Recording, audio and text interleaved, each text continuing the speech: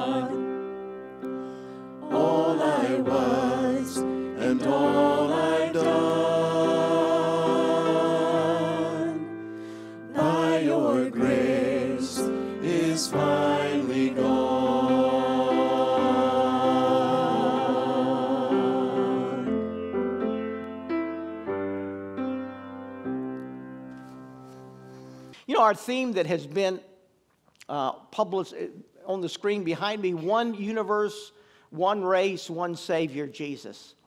Uh, we live in a world that's divided. We live in a world that's divided not only geographically, but uh, ethnically, uh, racially, the, all the, the controversy and, uh, and us and them.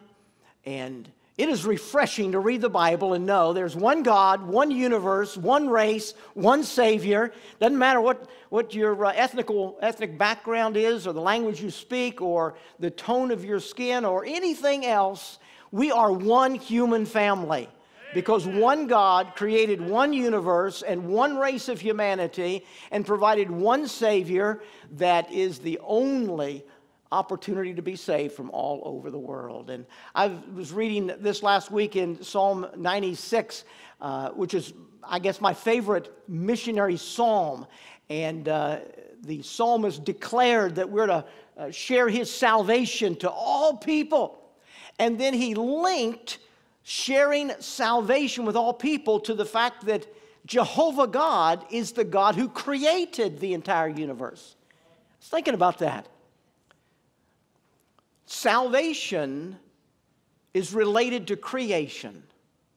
God created one universe and it messed up.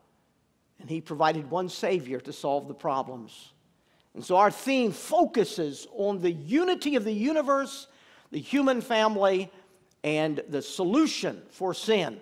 It's all wrapped up in Jesus Christ. He's the creator, He's the one who made it all possible. So, so exciting. Our theme verse, I want you to, I want you to read it with me together. We're going to put it up on the screen. And our theme verse for our missions revival and our missions uh, this year comes from Acts chapter 4.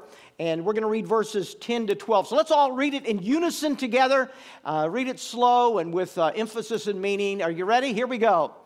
Be it known unto you all and to all the people of Israel that by the name of Jesus Christ of Nazareth, whom ye crucified, whom God raised from the dead, even by him doth this man stand here before you whole. This is the stone which was set at naught of you builders, which has become the head of the corner. Neither is there salvation in any other for there is none other name under heaven given among men whereby we must be saved. Isn't that a great passage of Scripture? No other name. We'll be singing that in each of our services. There is no other name but the name of Jesus Christ. And uh, we're excited to celebrate that here for these next couple of days and, uh, and learn more and more about what God is doing. Well, one of our missionary families that are here, uh, who is here with us this week, is Josh and Allie Miller. Josh and Allie are first time missionaries uh, heading off to Peru.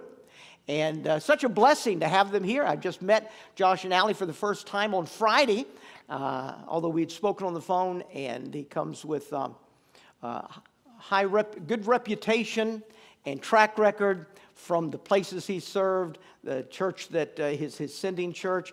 And so it is a joy to have Josh and Allie come on up and uh, bring us a word of greeting and testimony. And uh, it's so great to have you all here with us. We're excited about your presence this week. And so we're so grateful to be here. We are the Millers. Uh, it's myself and Allie, and we've got our two little girls, Eden and Hosanna, and we will be welcoming a little baby boy in August. Name yet undetermined. So we are looking forward to that. We're grateful for it. Uh, but we are sent out of Vision Baptist Church in Alpharetta, Georgia. Our pastor is Austin Gardner. Uh, just a little bit about the church there. Pastor was a uh, missionary actually in Peru for about 20 years. And so, really, he has a heart for missions. And that was the whole reason why he wanted to come to the States and start a church was to be able to train missionaries, to be able to train people uh, to go and serve on the mission field. And, and really, he's done that. He's sent out about 40 families from our church. And we got about 60 families with the mission there.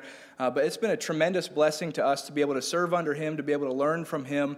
And he's taught us so much, not only about missions and about serving in ministry, but also about family. Uh, about being a, uh, the husband, about being the parents that, that God's called us to be. And so we're very thankful for, uh, for the opportunity we've had to, to grow up there and, and all of that. Uh, and so, really, it was actually our pastor's son uh, who introduced us to Peru. Uh, we were able to take our first uh, mission trip, internship there in Peru, and spend some time there. And God really blessed there and showed us the great need in the country there. I was excited this morning to be able to share a little bit with the, with the class that was up there uh, about how God called us to Peru, how, he, how He's opened up the doors and how He's led us there, and, and really given us all the opportunities in the world to, to serve and to train and to grow.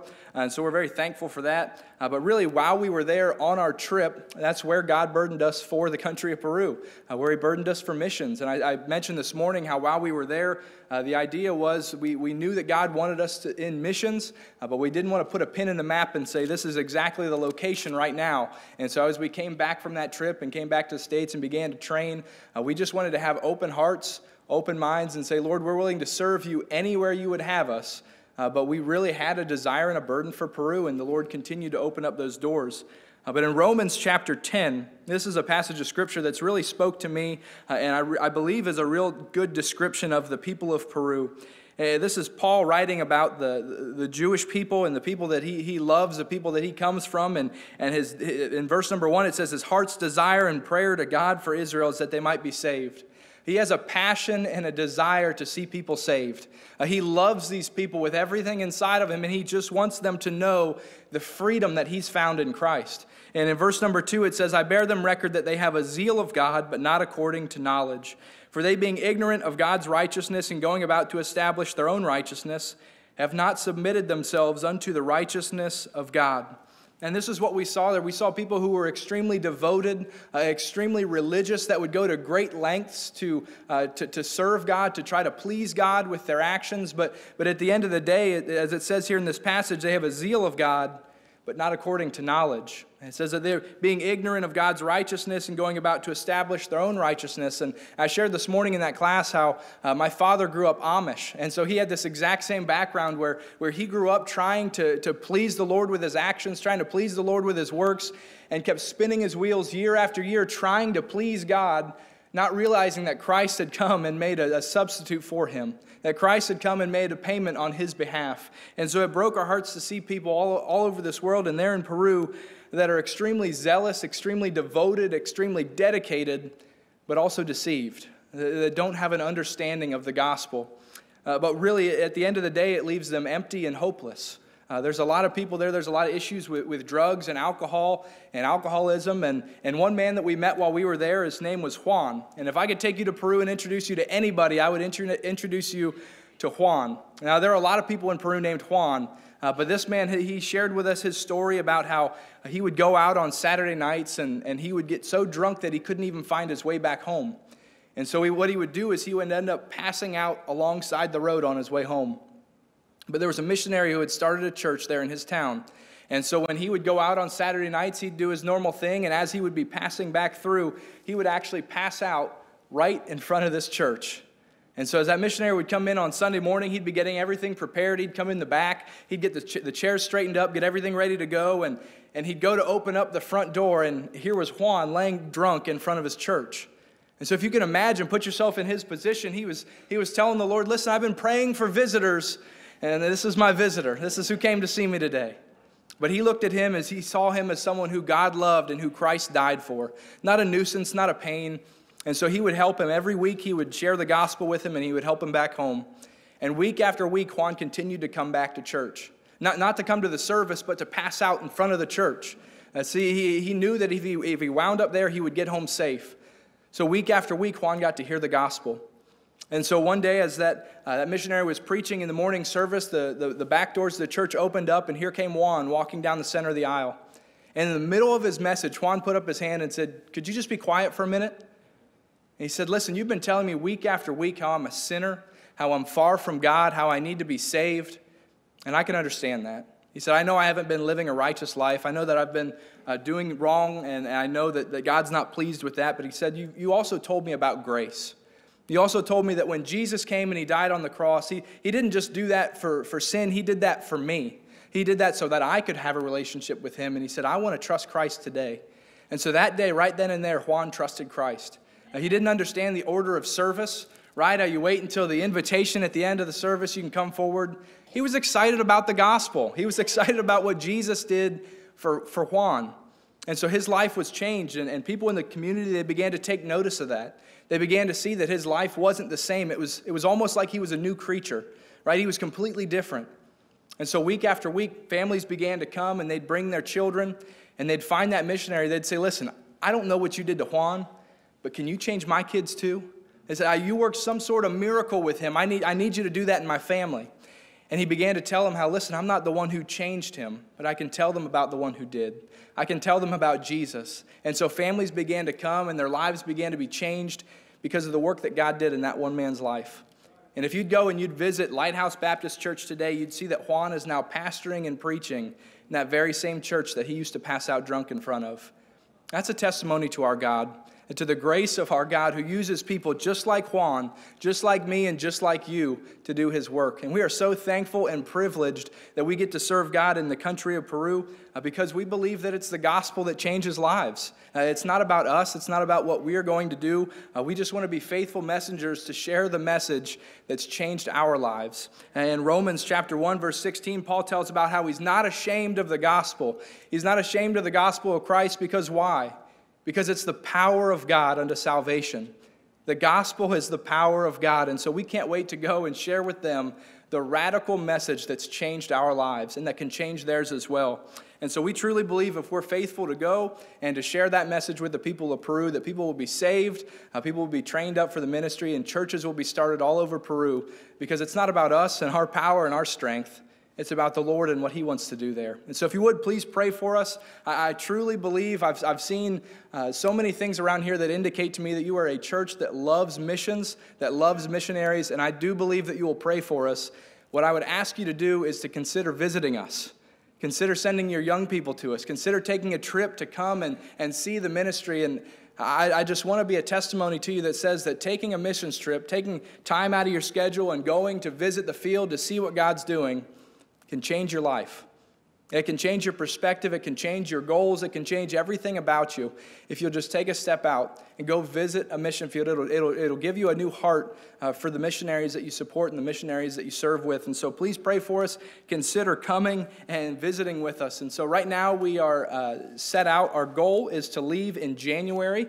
Uh, that's our, our goal departure date. And so, if you would, please uh, pray for us to that end. Uh, and one of the, the biggest needs that we have right now is just getting everything together for uh, to be able to set up there on the field. And so, getting the house together and, and appliances and all those different things. And so, thank you so much for the opportunity to be here, to be able to share our heart with you. And we, we are so thankful for your church and your prayers uh, and everything that you've given to us so far. Amen. I have known Bradley Edmondson for many, many, many years. And uh, he has served alongside Betty's brother in Ashland, Ohio, Calvary Baptist. And, uh, and then I have followed from a distance his ministry as it's grown and blossomed to an amazing organization that God is using to impact missionaries and missions churches uh, around the world uh, through bringing medical missions to them and uh, building relationships with communities and villages. And God has so richly blessed uh, Bradley Edmondson, his family, in the work that they, uh, God has called them to do. So it's my privilege, and it's a great opportunity for us as a church family to enjoy hearing from Bradley Edmondson this morning, tonight, tomorrow night, and Tuesday night. Well, good morning. It's good to see y'all this morning. Thank you so much for the opportunity to be here. Um, I mean it that uh, I love your pastor. Your church has just a rich testimony for missionaries all over the world for your love, uh, your generosity, your encouragement. Uh, I do bring greetings from Honduras. Missionary Matt Goins was so excited that I was going to be here with y'all this week, and he was jealous. He said he wanted to be here with me. Uh, he appreciates y'all and just your love that you have for his ministry there as well. And uh, I have been looking forward to this for quite some time. Your pastor's organized. Y'all know that, right? Uh, y'all know how organized he is. Your pastor called me and asked me if I would come and be a part of this conference in 2019. He didn't know about coronavirus. Uh, I didn't know where I would even be, but I appreciated that. My ministry, we, we work about three or four years in advance. We're working for countries that we're going to be entering in in 2025 already. Uh, we're trying to prepare for those teams and those trips. And so for him to call me that far in advance was awesome because I could actually make sure I was going to be in the country and then it just gave me an opportunity to build the excitement all this time to be here and to be a part of this conference and to get to meet each and every one of y'all. And I tell you what, your, your testimony has been spot on. Thank you so much for your hospitality.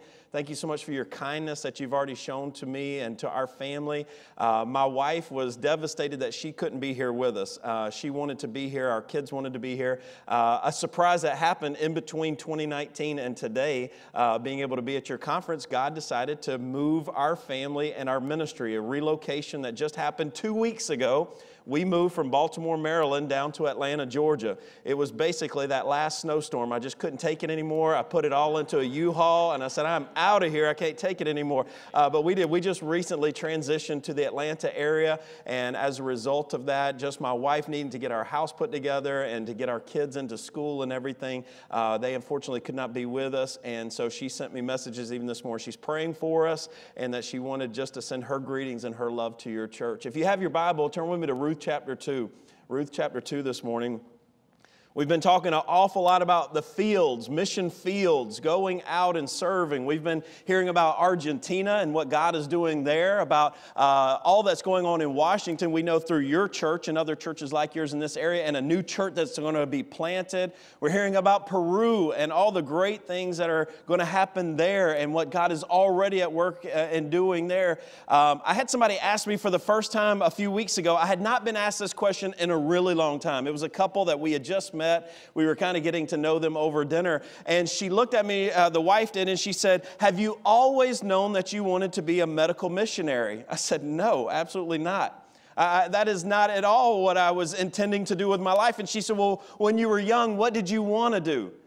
And I kind of was a little bit sheepish because I didn't know how they would feel about my answer, but I told her the honest truth. I wanted to be a farmer.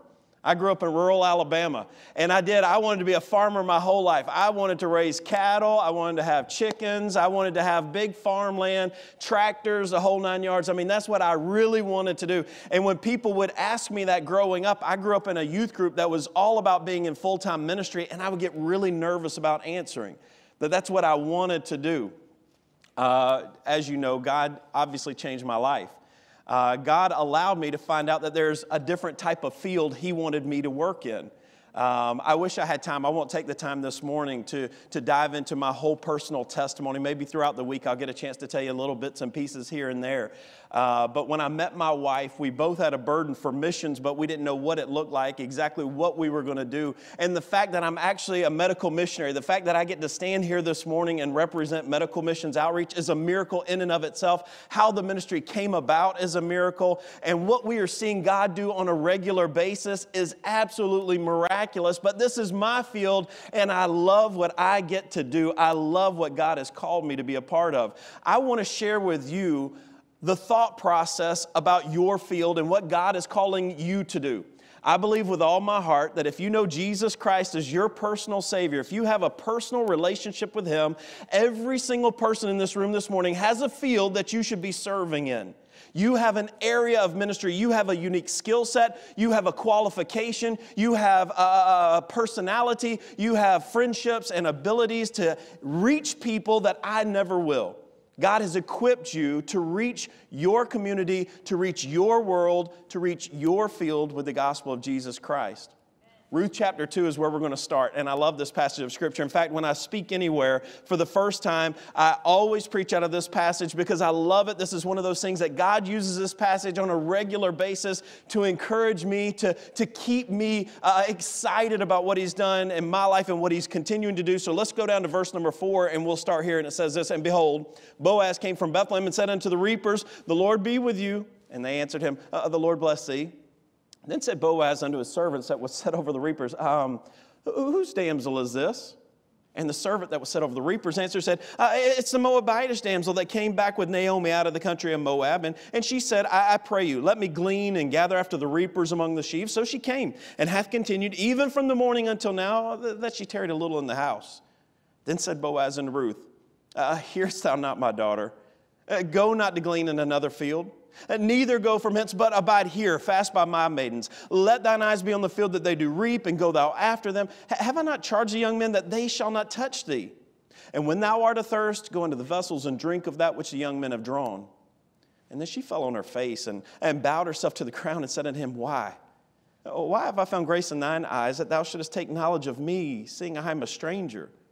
And Boaz answered and said unto her, It hath fully been showed me all that thou hast done unto thy mother in law since the death of thine husband, and how thou hast left thy father and thy mother in the land of thy nativity, and art come unto a people which thou knewest not heretofore. The Lord recompense thy work, and a full reward be given thee of the Lord God of Israel, under whose wings thou art come to trust. Amen. I love that Boaz comes home and he's the owner of the field. He goes out and he's, he's kind of looking to see what's going on today, who's all here, how's the workers doing. And as he's scanning the field, he sees this woman. You, you kind of read it with me here as we were looking at this passage of Scripture in verse number five. Whenever he's looking out over the reapers, he sees this woman out there, and I'm going to translate this how we would say it in Alabama. The way he said this was, Good gracious, who's that good looking woman out yonder? That's what he says there. Who's this damsel that's out there? I have never seen her. Who is she and what's she doing here? And the guys all that worked there, they said, Boaz, you know her. She's the Moabitish woman. You remember uh, uh Naomi's uh, daughter in law. She's the one that came. You remember her story, right?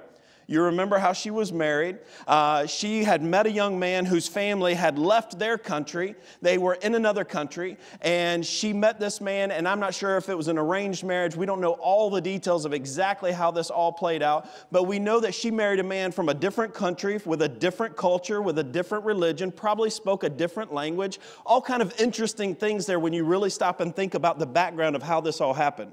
She's married to this man, and somewhere along the way in their early marriage life, uh, tragedy strikes. Uh, excuse me, tragedy really strikes here. Uh, tragedy strikes by her father in law. He passes away. Not only her father in law, but her brother in law passes away, and her husband passes away. This is a male dominated society she lives in. Now they have no men in their life to fend for them. They have no men to protect them. They have no men to provide for them. She is now struck with this tragedy. Her mother in law comes to her and says, Listen, I'm devastated. I'm brokenhearted. I'm absolutely just bitter, to be honest with you, that God has done this to me. And I'm going back to my people. I'm going back to where I came from. You go back to your people. Go start over again, girls. Y'all are young. Go get remarried. Go do whatever. But I'm going back brokenhearted. The sister in law, she does. She goes back to her people. She leaves. But Ruth, she makes this huge important decision. Uh, uh she looks at her mother in law and she says, No, no, no, listen, I've seen something different about your family. I, have seen something different about the God that you worship. I, I see something that's a, a, different testimony than anything I've ever experienced in my life. And where you go, I want to go. Uh, your people, they're going to be my people. And then this huge important phrase she says, And your God is going to be my God. Uh, the, the testimony that you have, Naomi, you may think that God has dealt bitterly with you, but God has done miraculous things, and I want that same God to be the God of my life. And so here we find her going back to this male dominated society. We find her in this field about to start work. We find her in, in God's way of providing for the underprivileged, for, for the people that need in their life. We find her in this field getting ready to go out and work when all of a sudden the owner of the field comes. He sees her and he calls to her and he says, Listen, Ruth, I want to bless you. I, want to bless you more than you've ever been blessed in your life. I want to provide for you like you were not expecting today. When you showed up, you were not expecting this, but I want to do something for you to absolutely help be a blessing to you. And he begins to tell her exactly what he's going to do. And you also read with me later in that passage how in verse number 10 she falls down on her face and she's like, I can't believe this. Why in the world do you want to bless me? Why in the world do you want to do this to me? Uh, who, why would you do this? I'm just a stranger. And he says, Because I know, Ruth, I know who you are and I know whose you are. Ruth, I know the decision you made. I know how you decided to trust God, how you've come here faithfully trusting for God to supply, and that's exactly what He's going to do. He's using this opportunity to provide for you. But this is how it's going to happen, Ruth. If you want to see the provision, if you want to see the blessings, if you want to see God's greatness on display in your life, this is how it's going to happen. And he enters into, I hope I don't mess up the legal terms here, a kind of a, a quid pro quo. A, a quo, quid, quid pro quo with Ruth here when he says, listen, this is kind of a this for that. If you'll do this, I'm going to provide that for you. And here's where we find our message today that I hope will be an encouragement to you. Go, if you will, to verse number nine. I love this. Ruth, here's how the blessings are going to be poured out in your life. Here's how you're going to see me at work in your life. Here's how you're going to see all that you need to be provided for you. At verse number nine, he says this. Look at the verse part. Let thine eyes be on the field that they do reap. Okay, Ruth, here's the deal. You want to get the provisions that you need today? Uh, you want to see blessings in your life? Ruth, you came here expecting something, and it's going to be even greater than you had have ever imagined. This is the first part that you've got to get solidified. Your eyes need to be right here on this field. And Ruth, listen, I want you to make sure that as you're out here, you are focused on this field. Have you ever had one of those moments in your life where you say, God, why are you so good to me? I have. I was sitting in Ouagadougou, Burkina Faso, everybody's favorite vacation spot, right? Uh, West Africa. Uh, I was sitting in a pharmacy when a lady walked in the door with one of our medical providers, and they said, Bradley, we, we need to do something, we need to help. And this woman handed me her baby. Her baby's name was Fataz. Fataz was about six months old, and he weighed about four and a half pounds. She hands me this baby, and when I looked at that baby, um, I'm telling you, I, I almost lost it. The baby was starving to death. His skin was stretched so taut around his skull, you could see the growth plates. I, I was watching this baby as he was trying to cry. He was so dehydrated, he couldn't even produce tears.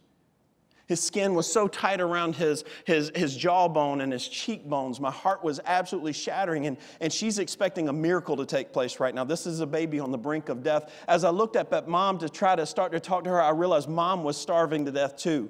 Mom was in just as serious a condition. She begins telling me how she was married to a Muslim man. She was one of three wives that he had. He had passed away and left all of them destitute in a country where pretty much everyone is fending for themselves. Everybody is living day to day, hand to mouth, trying to just get what they can to provide for themselves on a daily basis. And she's come to us and she's expecting a miracle. And my heart was beginning to break, and I didn't want her to see me cry. And I said, Can you give me just one minute? And I took baby Fataz and I walked to the room next to me, and I just started crying. Because I'm sitting there saying, God, I got four, you saw the picture of my kids, I got four fat little piglets sitting at home. And we got a pantry full of food. We got, we got a refrigerator full of food. And you've been so good to me. God, you gave me parents who love me, parents who raised me in a Christian home. God, over and over and over in my life, you've been so good to me. God, why me? Why did you choose to be good to me? And in that moment, I realized that the reason why God has been good to me is because who I am and whose I am. I'm His child. I chose to be a part of His family. And He's been good to me not so that I can collect for myself, not so that I can heap it all to me and have my own kingdoms and my own treasures, but so that I can put off on the plate of other people and do the best I can to help other people. Boaz, why have you been good to me, Ruth? I'm good to you because I want you to be blessed by this, but I want you to help your mother in law and I want you to help other people. You're going to be blessed because you've made decisions to be here in this moment right now, but you've got to be focused. Every single one of you, I hope you understand God has been good to you. God has blessed you. God has provided for you in miraculous ways, and I hope you never lose sight of that, that He has equipped you, He has blessed you in, in immeasurable ways, but it's not so that you can keep it to yourself, it's so that you can get back into your field and produce for other people to know the goodness of God too. Ruth, listen, I'm going to be good to you, but I want you to be focused on this field. Notice what he says to her let thine eyes be on the field that they do reap. Ruth, listen, it's this field right here. This one is for you. Don't worry about what's going on in the soybeans over here. That one's not for you. Hey, don't worry about the, the cornfield over here. What they're doing over there, that one does not concern you at all. The cotton field back there, none of them. None of these things concern you. This one right here is for you, Ruth, and I want you to be focused on this field and this field only. What we need today in churches is for each and every one of us to be focused on the field that God has called us to. Um, I'm going to be honest with you. Um, every once in a while, I get on Twitter, and I have followed a bunch of different people in ministry. And if I'm honest with you, I get frustrated with it because it's like a lot of fighting over who's doing what in other ministries and what they do and don't like about them and, and how they just got to pick at other people. I'm tired of that. I don't need that. I don't need Facebook where it's going to have one church member fighting with another church member over stupid stuff. Listen, if we would all be focused on the field God has called us to and reaching the people in our community and reaching the lost around us, we would see our churches doing miraculous things today.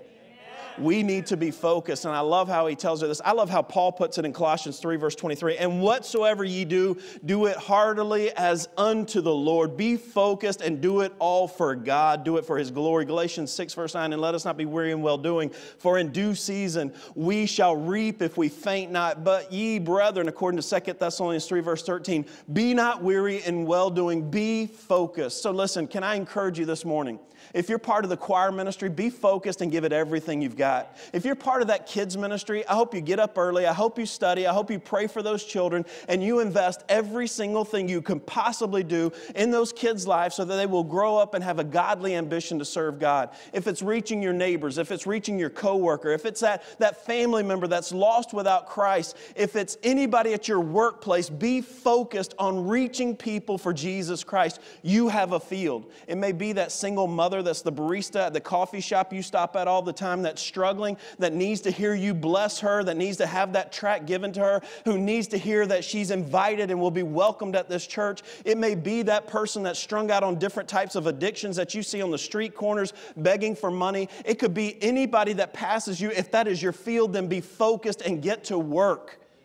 I believe we're, we're, we're on borrowed time here. The Lord's coming back anytime now. He's coming back, and we need to be found focused, serving where God has called us to. My field is medical missions, and I'm going to do my best to reach it for the cause of Christ. I love your pastor and I love his focus that he is called to be right here in this community of South Riding and reach every single person he can. I love the fact that the Millers know that they're called to Peru and that's where they're passionate about going and they want to get there. That the Downs are going to go right over here to, to DC as well and they're going to plant a church and they're going to reach more people. That the Merlots are going to Argentina. We, each one of us, should be able to raise our hand and testify I know where I'm called, I know what I'm called to do, and I'm going to reach it with all of my might for Jesus Christ because I'm passionate passionately, passionately focused on what God's called me to do. But He doesn't stop there. Ruth, listen, here's the deal. Uh, I, I need you to be focused on this field. Don't look anywhere else. This is it. Everything you need, all that you would find in life is, is going to be right here for you. I'm going to give you everything you need. Just please stay here in this field. But he doesn't stop there because he keeps on going. Let thine eyes be on the field that they do reap, and go thou after them. Okay, so this is the, uh, the part that's a little bit tougher here. Ruth, I want you to be focused, but Ruth, I want you to be following. You do realize he's the owner of the field, right? Uh, he could have just yelled out, hey, fellas, hey, hey, guys, everybody that's out there, do me a favor. All y'all come over here for just a minute. Bring your bags with you. Bring everything that you've been harvesting, bring it all with you. He could have walked over there and said, okay, now listen, I want all of y'all just to dip out of your bag and give some to Ruth. He could have done that, couldn't he? He owns a place. He could have obviously done that, but that's not what he chose to do. Just like our Heavenly Father could cause the rocks to cry out, just like He could cause angels to descend and tell everybody the gospel message, He could have chosen a myriad of ways, but He has chosen you and I. He has gifted us with this opportunity. He has blessed us with the, with the, the, the, the immeasurable responsibility of going out and telling people the gospel message. This is what He's chosen, and He's called us to not only be focused, but to be following what He wants us to do. This is where the rubber meets the road. This is where we're going to have to get down and actually do the work. This is more than just saying, I know I'm called to be a Sunday school teacher. I know I'm called to be a youth worker. This is where it's more than I know I'm called to be a deacon. This is where it actually comes to a place where I'm saying, okay, but I'm actually going to put the work into it. We have a lot of people that love to have titles. We have very few people that actually want to do the work of the ministry. That I will actually study, that I will actually pray, that I will actually put myself out there and invest in people that neighbor whose home seems to be breaking apart, that I, I hear that they're having some marital issues, and, and I know it may not be any of my business, but I love them in the Lord, and I just want to try to bless them and encourage them, and I want to try to have them over for dinner, and I'm going to try to put myself out there and reach them. Uh, that person that you know of that struggles with that addiction, they feel like they're going to find love in another arm and another set of arms and another set of arms, or they feel like they're going to find completion if they can just put something else into their body one more time. They can dull the pain. You say, Listen, I'm going to put myself myself out there. I'm going to actually put the work into reaching them with the gospel of Jesus Christ. This is the part where it's the actual following. Ruth, get out there, and I'm going to tell you it's going to be hot. Listen, Ruth, I know you're dressed in the, in the modern day garb. You got the long robes on, and, and you're going to have to get out there with your bag, and you're going to have to walk along. You're going to stoop down, pick up, and put it in there. You're going to reach down, pick up, put it in there over and over, and that bag's going to get heavier, and it's going to get heavier, and it's going to get heavier. But, Ruth, every time you take that step, every time you pick it up, every time you put it in there, every single time you're receiving the blessings, you're putting in the work, because this is what I want to do in your life. I'm going to tell you, it's not always easy. Listen, I'm not going to sit here and play my sad violin. I don't want anybody feeling sorry for me. I love what I'm called to do. But it's not always easy. Waking up somewhere else in the world, not knowing where I'm at, it's happened many times. I've sat up in bed, I had no clue what country I was in. Where was I? I had to stop for a minute and think about where am I? I was 36 hours away from my family when my daughter had an accident with a knife and she accidentally stabbed herself in the eye. Let me tell you, that will bring you to a reality and a heartbeat of what God's called you to do and make you wonder God, is this really where I'm supposed to be right now? I can tell you story after story that it's not been easy, but at the same time, I've watched God provide and God protect and God do everything just like He said He would if I just go in my field and I serve Him the way I'm supposed to. And He's been good every single step of the way.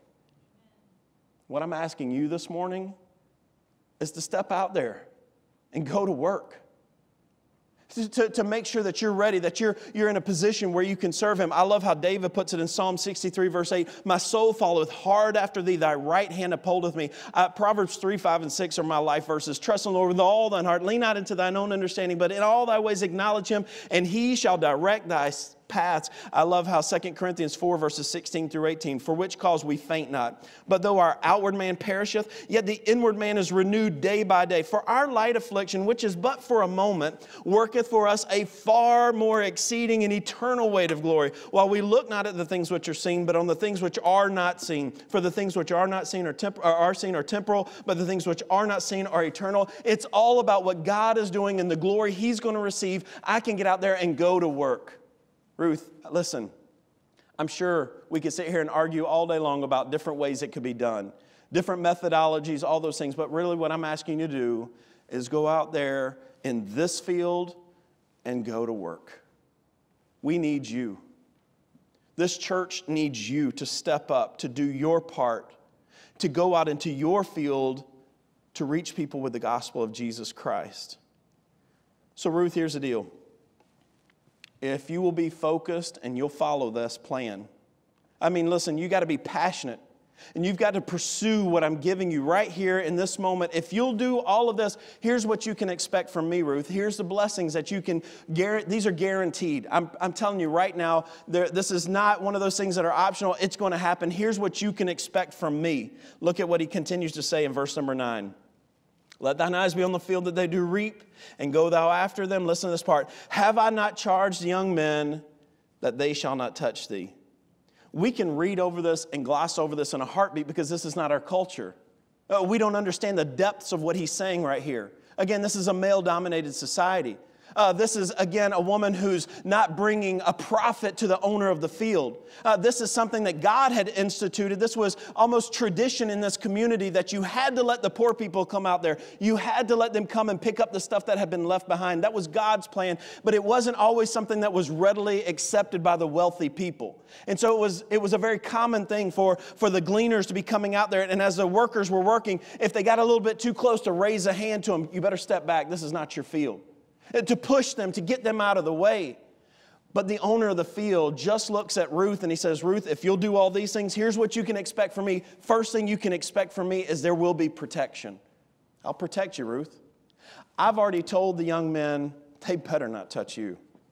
Uh, they better not they better not look at you sideways ruth because i'm telling you i'm the owner of the field and i've given you permission to be here to do this what's holding you back seriously uh, what's holding you back from reaching that neighbor? Uh, why are you so shy about offering the gospel to a lost loved one in your family? Why is it that you've heard the stories around the water cooler uh, about one of your coworkers that is in so much pain? Uh, they've been going through so much in their life, and you can tell they are lost and they need a Savior. What is keeping you from reaching them with the gospel of Jesus Christ? Are you scared about something? Are you scared about getting involved in the missions program and offering some type of grace giving uh, to the missions giving of this church? Are, are, you scared about maybe going on a visitation program and, and, reaching someone that you've never met before? Are you scared about joining and, and committing yourself to serving in some fashion here at the church? Let me tell you this right now. When you follow God's plan for your life, when you serve in the field that He has for you, you can guarantee you have the protection of God watching over you. This I recall to my mind, therefore I have hope. It's of, the mercy, uh, it's of the Lord's mercies that we're not consumed, because his compassions fail not. They are new every morning. Great is thy faithfulness. The Lord is my portion, saith my soul. Therefore will I hope in him. The Lord is good unto all that wait for him, to the soul that seeketh after him, according to Lamentations 3 21 through 25. Hebrews chapter 13, verse 16, uh, 6 says this, so that we may boldly say, The Lord is my helper, and I will not fear what man shall do unto me. There is an absolutely fine balance of faith and common sense and having faith and following what God has called me to do, He's given me a spirit not of fear, but to follow Him. Each time before I leave the field, um, if you saw the picture of my family, my oldest son's name is Noah. Noah's 14 years old. And again, not trying to sound like I'm being super spiritual, anything like that. I'm just being realistic. I'm going to be transparent, tell you a little bit more about my household. Before I leave the country, I usually pull Noah aside. Uh, his middle name is Moises. My kids all call me Poppy. And so I'll tell him, I say, Moises, listen, Poppy's headed out of country again. You're the man of the house. You're the man of the house. Take care of mom. My wife just had her third back surgery in a year. Uh, she's had some, some health issues with that. I'll tell them, you're, you're the head of the house. You take care mom. You keep the other three sweat hogs in line. You make sure that they're obeying, that they're doing their chores, that they're doing right. You, you help me out there. And I usually will tell him this. And listen, if Poppy doesn't come home from this trip, it's okay. I'm not guaranteed tomorrow, just like you're not. I go into some environments where uh, it's not welcome to have Christians in the community. Uh, I've been in West Africa across the street from mosques where we got that, that side look every time the, the prayer would end, the call to prayer would end, and all of the folks would be leaving the mosque and they would come straight to our clinic because they wanted medical care. I know what it was like to have the imam staring us down, wondering why we were doing, it, and I had no clue what would happen. I'm not guaranteed of tomorrow. And I would tell him, listen, no, if I don't come home, it's okay. I'm doing exactly what God's called me to do. God will bless, God will provide, it will be okay because listen, I am guaranteed of this. No matter what they do to this body, they can't touch my soul. Amen. And I'm okay with that. I am absolutely 100% at peace with that. I've learned that if He calls on me to give up something, He's usually going to replace it with something better. So why hang on to that money? Why hang on to that possession? Why hang on to that pride? Why hang on to whatever it may be that's holding me back? Give it all away to God and watch what He can do. Ruth, listen, I promise you, I'm going to protect you. Just get out there and go to town. Go out there and get the blessings that are waiting for you. Go see joy and fulfillment like you've never experienced before. This is your field. Go after it. I guarantee you, Ruth, I'm going to protect you. I'm going to keep you safe. But he doesn't end there. Have I not charged young men that they shall not touch thee? And when thou art athirst, go unto the vessels and drink of that which the young men have drawn. Go into the vessels and drink. Ruth, listen, I know it's hot out here. I know you're going to get tired. I know that when you get out there and you're bending over and you're grabbing all this stuff, and it's going to be a long day here in the Middle East, and you're just going to be sweating and you're going to be tired, and it's a lot of work. But whenever you're ready, whenever you need it, because you're going to need it, Ruth, there's water already prepared for you. That's what he says. Go and drink of the vessels which young men have drawn. It's already there, it's waiting for you. I will supply everything that you need. Isn't that amazing? That he knows my need before I even know it. He's already got it prepared before the time comes that I know that I'm going to need it. And all I've got to do is trust God for it. It's available for me. Um, Speaking of protection, we were in Haiti right after the earthquake, and we had a team of 28 there, orthopedic surgeons. We were doing round the clock surgeries in a hospital there in Croix-des-Bouquets. And as we were working and uh, we continued to see more and more patients, the military found us and they started choppering in patients. They started bringing us patients in uh, medic Hummers and all of this kind of stuff. And I mean, we were overrun with patients, so much so that we stepped outside of the hospital walls there to start triaging the patients to find out the needs, the severity of the needs that they had. And as we were out there working, suddenly about four mopeds came driving up, and these guys were wearing uh, NBA jerseys and they all had gold chains on. I called them Hades Angels. They came riding up on their little mopeds there, and they began to just stare us down. I had two guys from Homeland Security that were with us that were our security. They had weapons and they were wearing scrubs so they kind of fit in. And one of them came to me, he said, Bradley, we're being cased right now. We're about to be robbed. I said, by these guys? I said, yeah. He goes, there's no doubt. He said, there he said, these guys are here. This is about to be trouble. I said, all right, give me a second. Let me help get these other people inside the clinic. So I went over to our team. I said, hey, listen, we're going to take a break. Everybody go inside for a minute, get you some water. We're going to take a break. Leave your stuff out here. Me and these fellows will watch it. We'll, we'll, we'll get back started in just a minute. Just go ahead right now. Everybody go ahead and go inside. As I'm doing that, I noticed that the guy from the security, he's over there right in their face taking pictures of them. And he's going, I just want to remember what you look like. I'm glad you're here today. And he's taking each one of their pictures. And all of a sudden, I heard this noise. It was really loud. And there is, uh, you'd have to imagine this building with big, tall brick walls around it, concrete walls, probably about 12 foot high. Uh, it was streets on all four sides, and you could see on the back wall dust just coming up over the walls, and all of a sudden around the side walls, there's dust coming, and all of a sudden around the corner comes three big Hummers and the doors open and these guys pop out of there and they come walking over and this guy goes i'm sergeant so and so from the 82nd airborne division of the u.s army and i'm on a peacekeeping mission from nato who's in charge here i said well i am he said uh, i came to check on you i said well your timing is perfect he said are you worried about these guys right here I said, actually, we were. Our security detail just said that we should be concerned. He goes, I know, we've been tracking them and we heard they just came this way. I'm here for them too. I said, Well, praise the Lord. and he went over and he used some terminology that I will let the army use. I won't use it in a church setting. And next thing you know, those guys got on their mopeds, they drove away, we never saw them again. In 16 years, that's about as close as I've gotten anything happening to me. I'm sorry to disappoint y'all. But God's been good. He protects, He provides, uh, I, I, would love to take the time to tell you a story of how God provided financially, time and time again, miracles of, of people who have stepped in when they had no clue we had a need and provided. I would love to sit here and tell you about how children and, and patients have come into our clinic with dire needs and, and life threatening situations that we, we usually would have no reason to carry this medication, or we would usually have no reason to have this type of specialist on a team, but God provided the way He always does miraculously. So, y'all, this morning, seriously, what's keeping you out of your field? I'm begging you, please, let's get real for just a moment and think about it. Why are you so scared to get involved? Why are you, why are you standing on the periphery?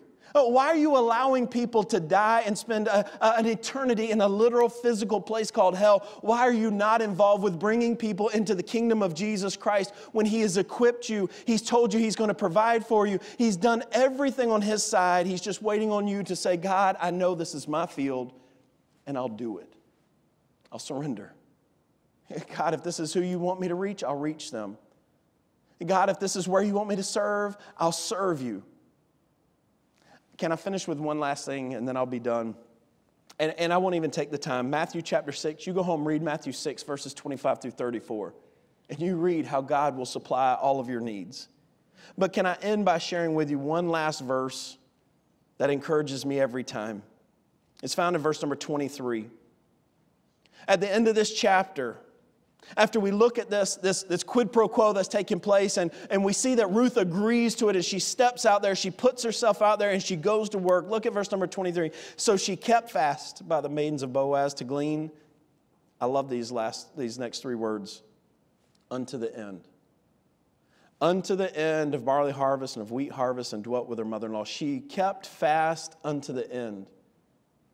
Last thing I want to encourage you with there's probably some folks out here that say, Bradley, I know I used to be involved.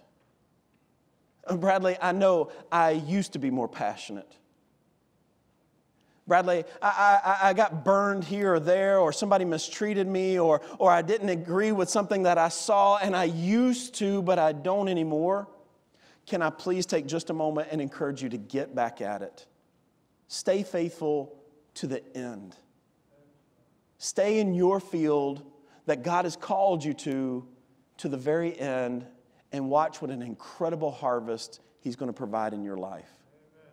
God wants to use every single one of us this morning to reach somebody, some people, somewhere with the gospel of Jesus Christ. But it really needs to be every single one of us. No matter how old you are, you can be in the fourth quarter of your life, you can be in the second quarter of your life, it doesn't matter. God wants to use you right here, where you are to reach people for Jesus Christ.